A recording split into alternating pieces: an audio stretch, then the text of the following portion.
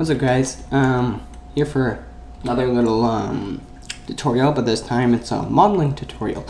Um, I got a comment on one of my videos, I think it was on this one, yeah, um, slide R27, yeah, a whole bunch of numbers. He wants uh, tutorial for the speaker, and um, I'm going to show you how to make it. Um, so start up a new, um, looks laggy. Anyways, start up a new um, scene or folder or file or whatever you want to call it, Cinema 4D, and put in a cube.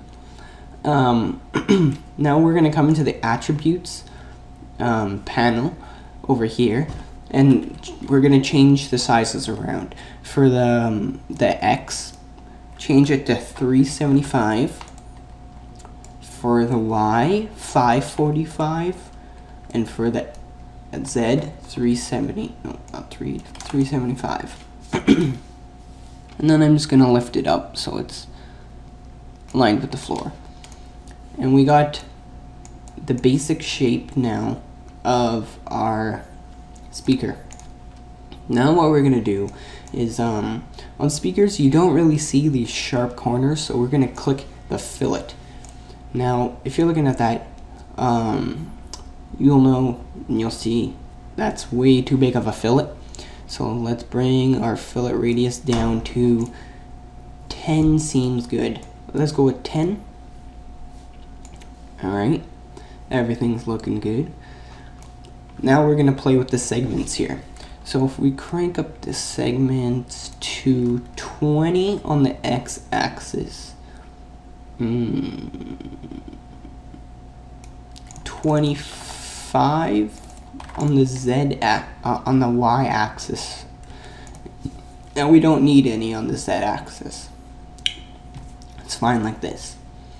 And now we can, um, once you have all of this done, you can come over here to the left and make it editable or hit C on your keyboard.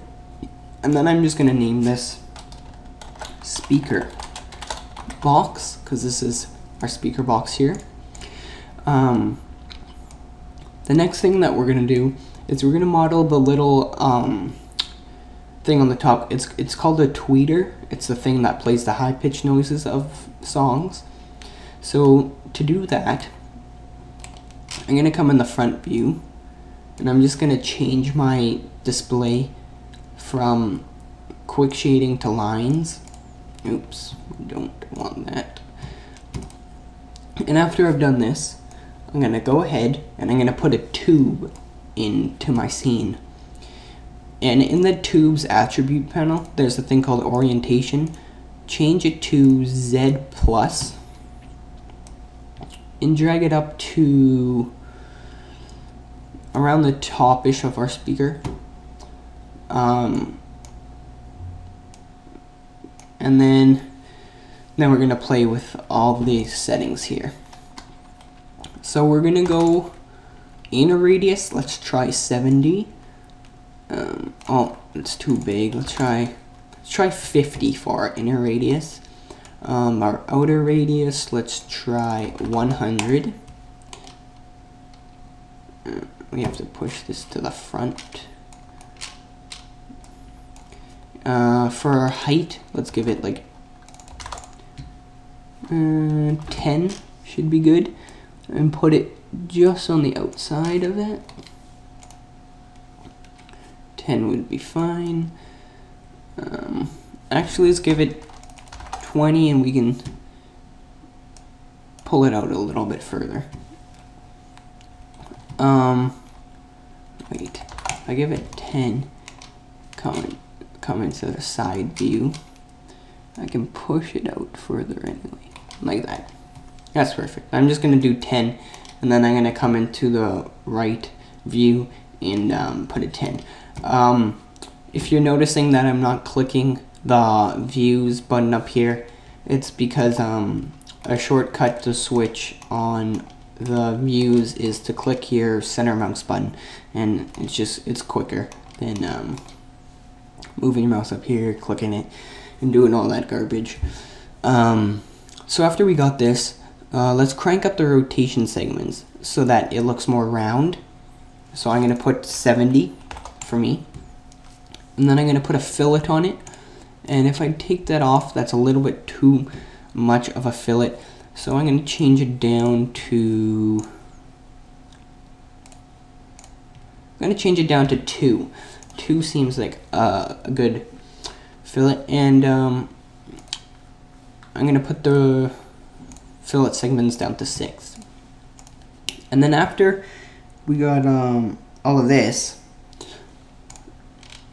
we, our speaker's kind of taking shape. Um, this kind of looks big. It looks a little big. So I'm just going to drag it up a little bit more. I'm trying to vi visualize this. Um, I'm going to bring this down to 40 for the center. And then uh, going to bring this down to 90 for the outer one. Because we have to have room for our big um, sub or our woofer. So after we have this, um, doesn't that doesn't look like a tweeter yet. So then we're going to insert a sphere. And we're going to change the radius to not 70, 40. Right? And then we're going to come into our front view again. And then we're going to lift it up so it's perfectly aligned in our in our uh, tube here. Then you can come into the other view and you can just pop it in there like that. And you can kind of see now that that looks like it's sticking out a little bit much. So we're going to click on our sphere coming coordinates and on the Z we're going to change it to 0.7 and now you can see our sphere has um, flattened a bit. So kind of just uh, makes it so it's not sticking out as far. It, it looks like the exact same but just fixes a couple things. I'm just gonna fix the positioning of this so it's perfectly centered. Um, and I'm gonna drag it out a little bit more. Alright now um, we're just gonna add a little uh, detail things to the to the tweeter. We're gonna grab um, a sphere and we're gonna change the radius of our sphere to let's see. If I put that right there It's a little big. We're going to change the radius to 5. And then we're going to come grab a cloner object under the MoGraph section. Um, it's cloner. And drop our sphere into the cloner object. Now, in our cloner object, um, if you click on object in it, uh, the mode is currently linear, and that means it's a straight line, and we don't want that. We want it to be radial. We want it to be in a circle. So now we can drag this up to the center of our tweeter and you can see that um, it's in uh, a nice little circle. But um, our radius isn't big enough so we're just going to play with it. So it goes into the center of our tweeter. So 65 radius will be nice for our tweeter. And the count is 5. I don't want 5. I only want three. And three will be good for me. Um, zero offset, offset zero. And everything else seems good. Oops. Um, now we're going to come into our right view and we're just going to push our spheres up till they come out of our um, tweeter here. So when I render it, you can see you can see the three little things that kind of looks like screws that are holding the tweeter in. And now for our main um, woofer here. Uh, you can either do one, you can do one of two things here. You can create a cylinder the size of the woofer that you want and you can bool it. You can use the bool tool to make a hole or you can um, come to the polygon um, mode here, the large round square, grab uh, your live selection tool and make sure only select visible elements is on. Come to our front view here and you can select the polygons kind of like a circle here. I don't know. In like a circular fashion here. I don't really like this way because then you gotta cover things up and it doesn't look the best. So like you can see it, you, you kind of gotta know which ones to select. So in this tutorial, I'm gonna use the bool option. So I'm gonna grab a cylinder. I'm gonna change it to Z plus. I'm gonna drag it up right here. And then I'm gonna play with our radius until I find a good um, speaker size. And I think this would be fine. So that's not what I wanted to do. Now what I'm gonna do is we're just gonna drag this up till it comes out of our speaker so we can see it. We're gonna come under the array tab and we're gonna go bool. And now what we're gonna do is with our speaker box, we're gonna drag the speaker box in and then we're gonna drag the cylinder in. Um, you notice that um, now you can only see the cylinder. That's because um, you need to drag the speaker box on top. So everything's good. And now we have a nice big um, hole that the woofer can sit in. Um, also with the woofer, there are there's a cone. So we're gonna come make a cone object. Again, we're gonna come into our front view, change it to Z plus, I believe. Yeah, Z plus. We're gonna drag it so this is right the beginning of the hole there, and we're gonna make it the same size as our cylinder hole we had, which I do not remember the exact size, but it's someplace around 142. And, um, but if you come back here, just the cone is flat. And, um, I'm trying to think how uh, you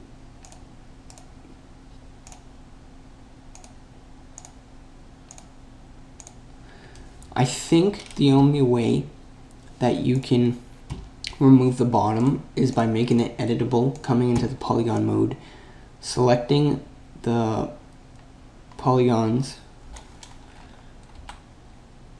and deleting them. And now we got a cone. But um, I'm noticing now that this cone is much too deep. So I'm gonna um, control Z, so undo until uh, we get it back to normal. And I'm just gonna go with the height. I'm gonna play with it so it's kind of like that. And then I'm gonna reposition the speaker. And we're gonna try it again. So I'm just gonna come in the front view, find it easier. Delete. Oops. Does that look about right?